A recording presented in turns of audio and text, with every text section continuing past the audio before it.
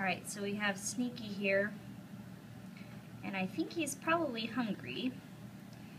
And we have our little baby mouse. So,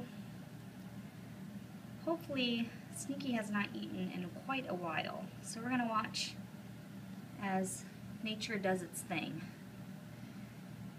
And hopefully Sneaky will, ooh, there he goes. He's a hungry snake.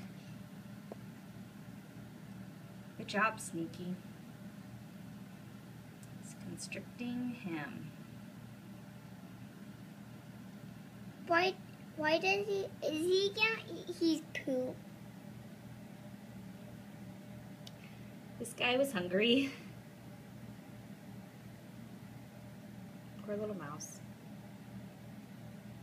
See, Creed? So he's constricting him. See him? Yeah. So he's going to kill the mouse and then he'll be able to eat him. This is going to be so cool to watch.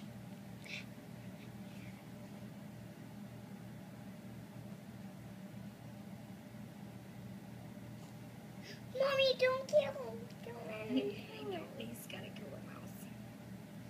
See, and then he'll probably, since he's got his body wrapped around, he's going to know when the mouse is dead because it'll stop moving and its heart will stop beating.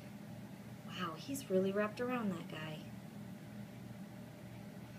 Wow, that's What? crazy. Why is wrapped around? And then what, guess what he's going to do? What? He's going to swallow him.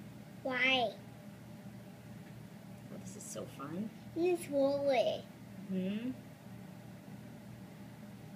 My poor mouse. Don't move your tail, Mousy. Oh, oh. It's kind of hard to watch. Hmm.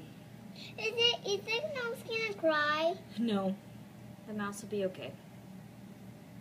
It's going to be digested. Okay, we'll get it when he's swallowing.